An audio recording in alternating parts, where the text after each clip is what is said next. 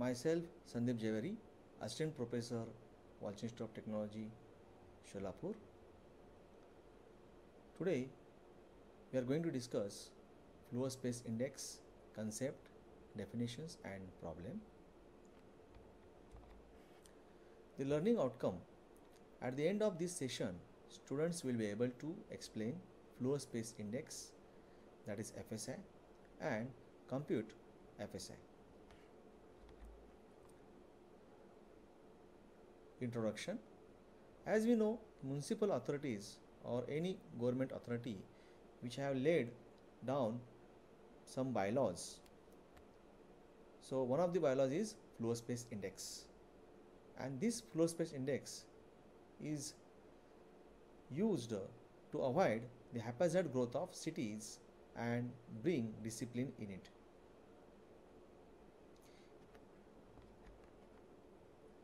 Floor Space Index that is FSI. So FSI is defined as the ratio of total built up area to plot area. Now there are some factors which affects FSI values.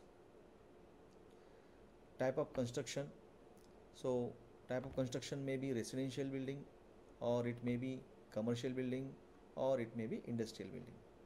So for all type of building the FSI values are different.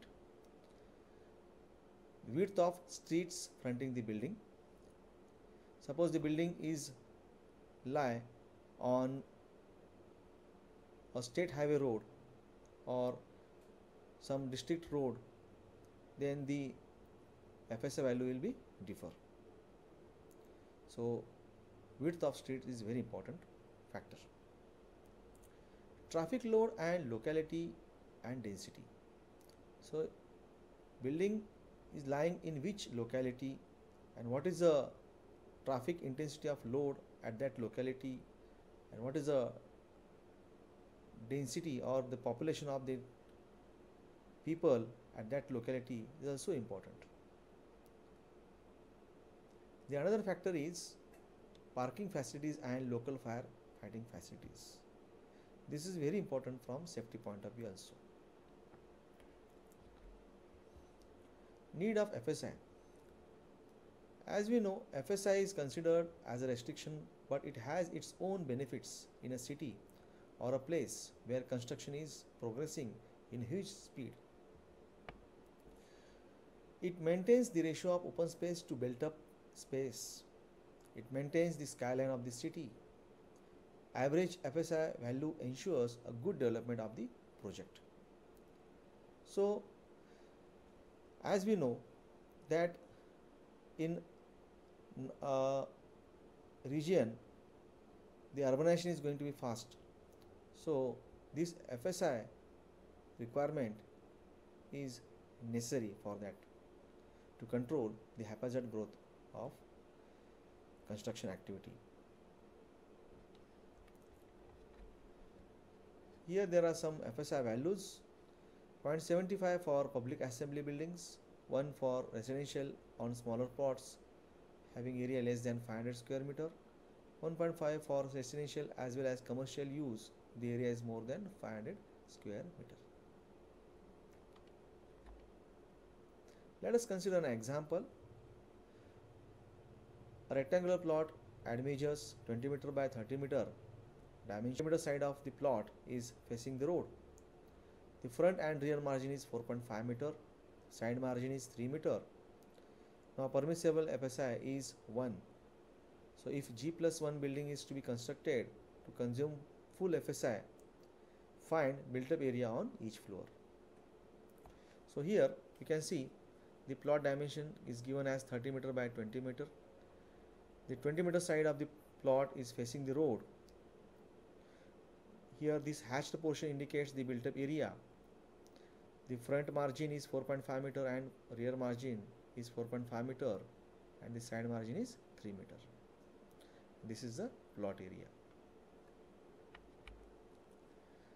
As we know fsi is given by using the expression built up area on ground floor plus built up area on first floor divided by plot area. So let us find first built up area on ground floor given that front and rear margin is 4.5 meter and side margin is 3 meter so we can obtain the built up area available on ground which is the maximum available area. So it is to be find out by subtracting the rear margin and uh, the side margin. So we obtain the dimension for the construction that is for built up is 20 meter by 14 meter that is equals to 294 meter square now given that FSI is 1 plot area is 30 meter by 20 meter that is equal to 600 meter square. So by putting these values we can obtain what is the area on first floor. So let built up area on first floor is x meter square. Now using the expression FSI is equal to built up area on ground floor plus built up area on first floor divided by 600 that is a plot area. We obtain x equals to 306 meter square. So the result which we get is the built up area on ground floor is 294 meter square and built up area on first floor is 306 meter square. Let us consider another example. In a place maximum FSI allowed is 1.4 and space of 3 meter is left all around the building. Determine the width of the square plot to have optimum utilization of land for a G plus 1 building assume area on each floor is same. So here we have to find out the plot dimension. So let plot dimension is b by b meter square. We know fsi is equal to total built up area divided by plot area. Now built up area on ground floor plus built up area on first floor is nothing but total built up area. So by using the expression fsi is equal to total built up area divided by plot area we can obtain the expression for built up area on ground floor as b minus 6 by b minus 6 meter square and built up area on first floor is equal to b minus 6 by b minus 6 meter square. As the area on both floor that is on ground floor and first floor is same. So plot area is given as b meter square.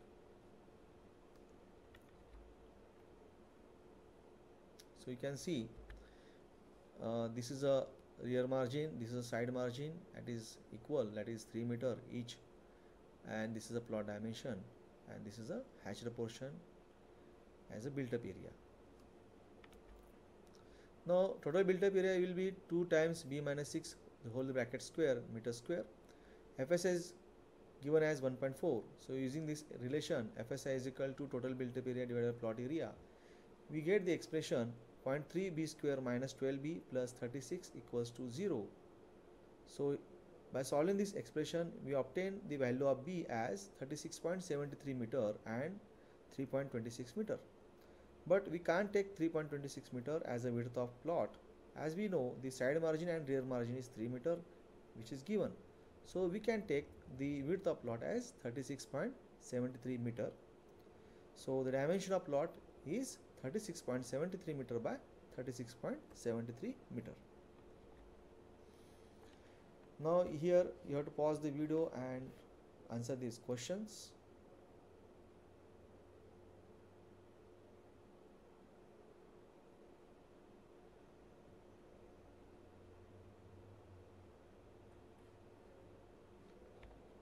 These are the answers.